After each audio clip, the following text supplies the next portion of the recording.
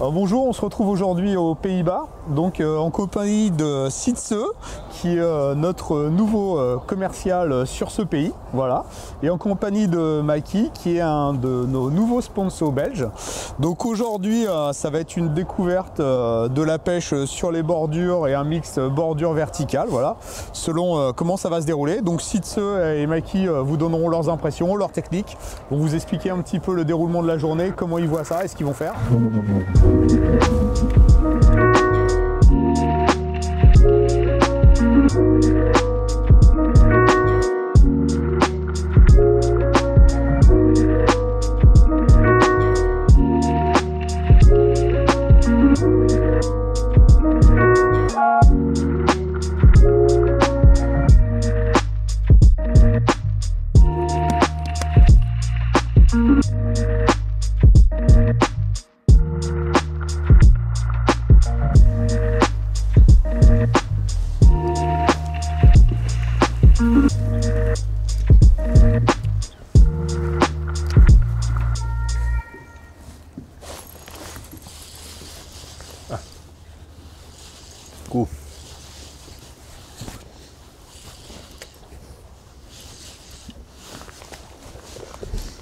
Alors voilà, on, est, on a essayé ce matin sur le lac plus bas. On a essayé de pêcher les, plateaux entre 1m50 et 2 mètres. On a essayé de faire de la perche, mais rien n'a donné. Si on vient d'arriver sur une zone pour, euh, pour faire une dérive en verticale, moi je pêche en verticale. Et puis lui il pêche euh, en linéaire le long de la cassure. Et puis ben, quelques mètres de dérive, et puis ben, je viens de prendre un poisson. Voilà, suivant.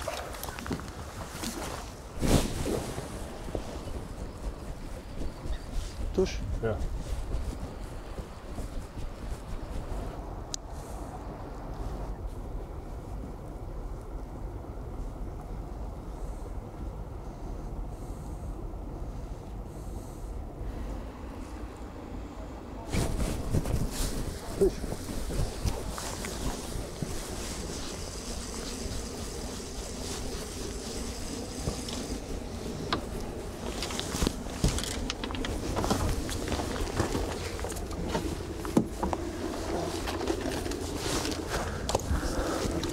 Ja. Yeah, boy. Thank you. All right. Difficult day. Started casting the shallows for perch. Sadly, it didn't work. So now we're about vertical fishing and casting a very slow retrieve. And he hit it just after I lifted from the bottom. The Bakuree head with a very nice natural color. The water is murky, but the fish are difficult. So sometimes you need to fish a little bit more natural. Very light jig slow retrieve, small fish, but it's safe today.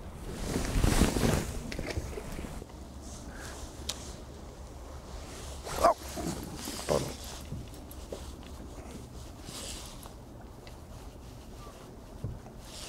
Ça, je peux te le dire, c'est coffret.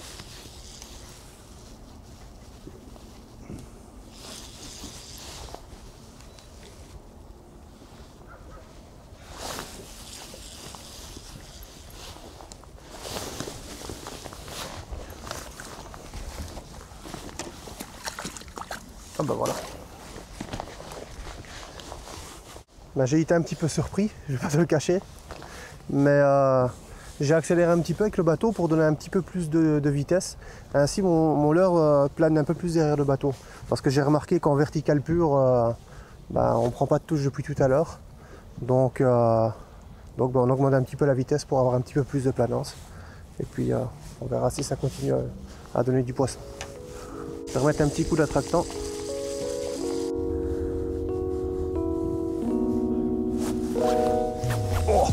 A strike.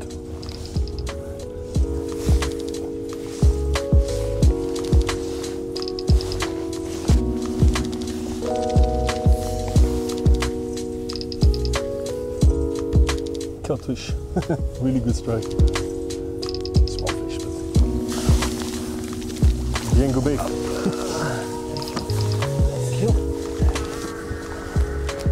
All right. Second fish of the day for me. It's not easy. We moved a little bit deeper. We spent the day fishing uh, the, the, um, the shallower parts, but the fish were not home or not biting very much. Again, not the biggest of the lake, but when the strikes are like this, it's very much fun. Same pattern with the Bakuree head and the Hazedong Shad from Megabass. Thank you.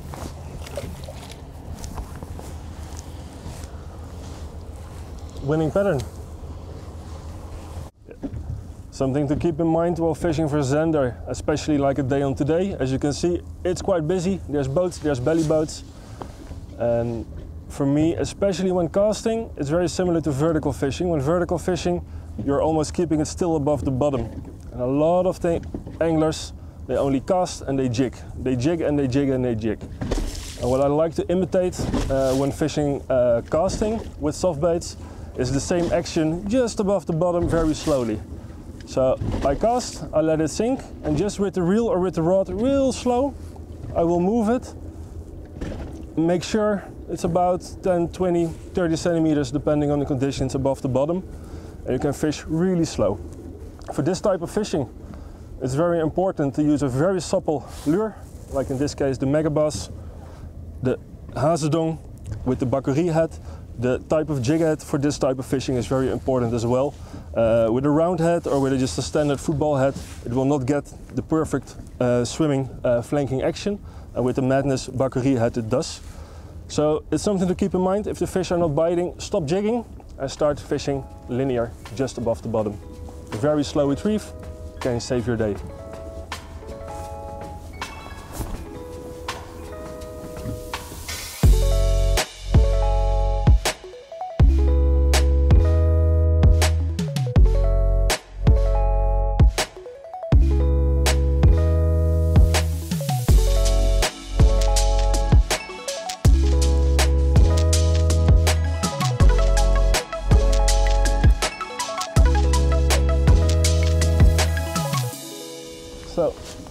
Course, everything starts with a cast.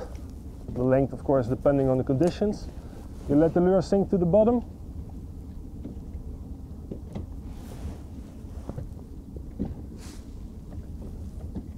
In this case, it's about 8 9 meters, so it takes a while. Not fishing too heavy, the lighter the better. And the thing most people will do when they hit the bottom, reel, reel, reel, and wait which can work of course. Everything works on, it, on its given day. But especially when the fishing is difficult wait till you hit the bottom again. Just really slowly only moving your rod pick up the slack. And when you know you almost hit the bottom you move your rod again. What this does this will extend the sinking downward phase of your lure. And of course that's when you get the strike. If you only do this and then wait the downward phase of the lure will be very short. If you know your sink rate of your lure very good and the proportions of your jig head, you just move your rod, you can almost keep it perfectly in that strike zone without touching the bottom too much.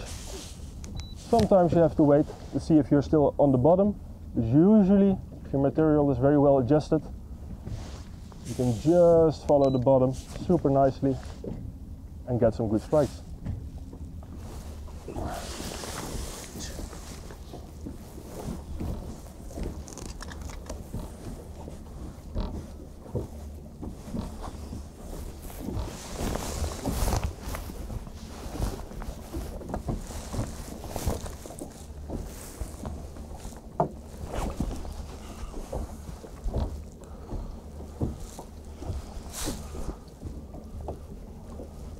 Very soft strike again.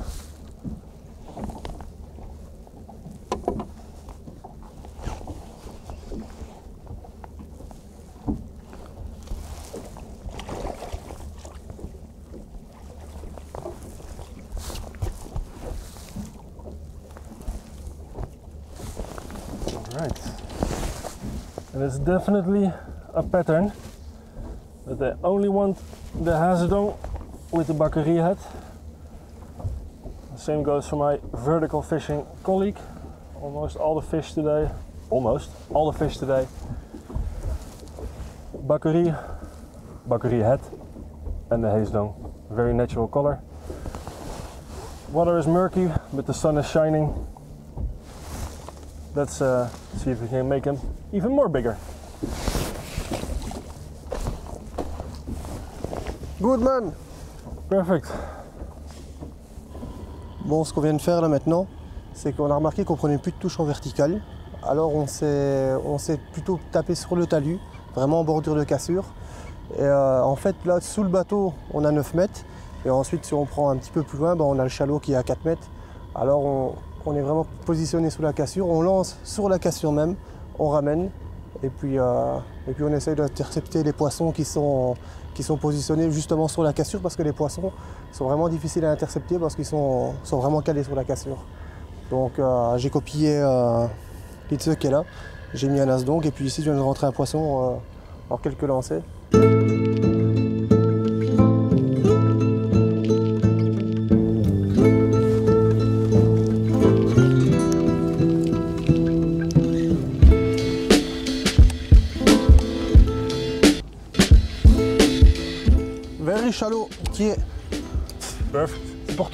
Pour toi ça. Now I'm happy. Thank you. Merci. De rien là. Très gentil. Dankushon.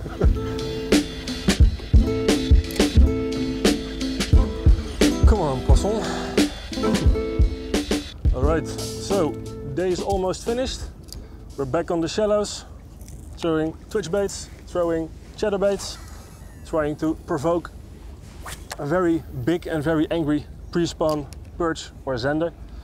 It's been a very difficult day. Air pressure has been all over the place last couple of uh, days. Uh, the water went from murky to clear. So the Zender, we're not really playing ball. We had a couple fish linear, uh, vertical. Uh, this morning we started the same way as we're doing now. Uh, we started uh, casting the shallows with twitch baits, with reaction baits to try and trigger a response. Sadly, it did not work. Day, like I said, the day is almost finished, and you never know with this type of fishing. You can always go from zero to hero. Uh, the it's end of March, so it's uh, like I said, pre-spawn fishing. Fish are big, fish are heavy, and fish can be very aggressive at this time of year. Um, so that's why we're fishing the shallows because they are ready to make nests. Uh, I do not think the nests are already here yet. Uh, otherwise, I would not like to fish on them. Uh, but it can happen anytime. So you have to be angry, you have to be fast. So chatterbait with a big uh, curly, the X layer from Megabass, BKS from Tackle House, something that provokes a heavy reaction.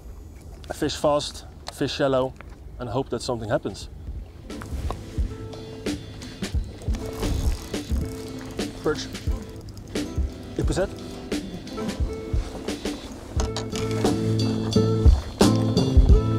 Come on, boy. Make me happy.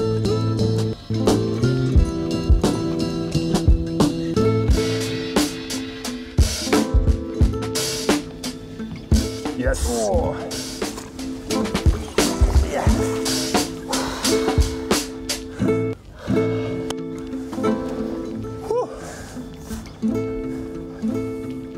All right.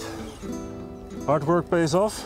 It's not the 50 I was hoping for, but as you can see on the belly, I was talking about pre-spawn fish. This is definitely a pre-spawn perch. On the vision, good strike, very shallow. I think the boat is in 1.7 at the moment and the fish could not have been deeper than a meter. Really cool, very happy with it. Makes a tough day, worth all the effort and the early start. Let's get this beauty back as fast as possible. All right, there it goes.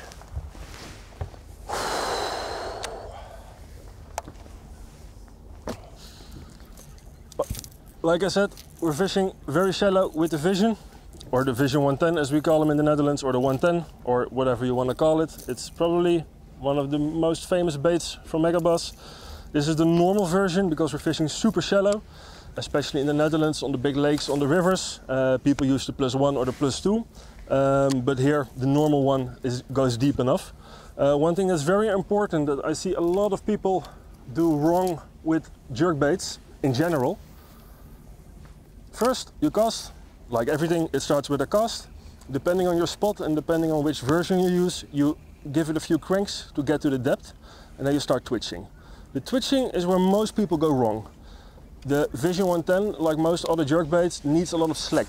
So if you jerk and you keep your rod in the same position, it will not um, move correctly. It will just do very little movements, and you want it to go as wide as possible. So if you just do this, it will do nothing or not what you want it to do. So very important, if, if you twitch, you go back straight away. Use a bright line. Usually you don't even feel the bites, you just watch the line. You can see your line move. So you twitch and you go straight back. If you hold the rod, if you hold it like this, it's almost impossible to go back. You have to go really weird movements. Keep it very loosely in your fingers, twitch and let it almost bounce back on the lure itself. This will give it the, the, the necessary amount of slack and it will help with a very wide movement and a very wide movement also helps with staying in the same position. A lot of jerk baits on the market, they do this and this. What you want is to do this and this so you have more twitches per meter or per spot you're fishing to stay as long as possible on your spot. Especially when you're fishing with the suspending version.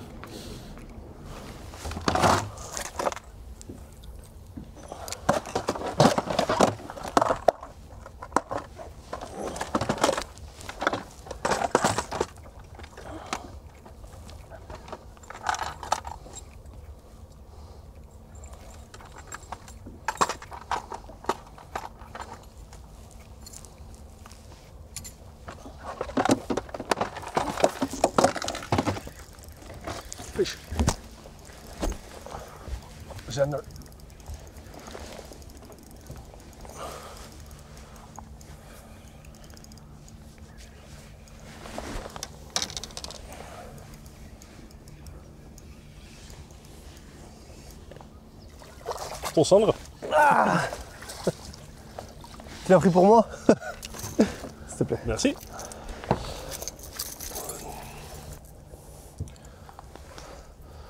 Right, again, not the biggest fish. As you can see on the belly, the theory came into practice. Nice zender. Actually, I think it's the biggest zender of the day after a lot of soft bait fishing. And again, on the very bright colored twitch bait. As you can see, it's hooked on the bottom. So it was not very motivated and it was just purely aggression, um, which is very normal this time of year.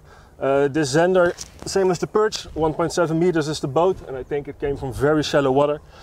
So very happy with that, together with the perch. And it's very hard to beat catching zender on hard baits. All right, we're still on the shallows, still fishing jerk baits.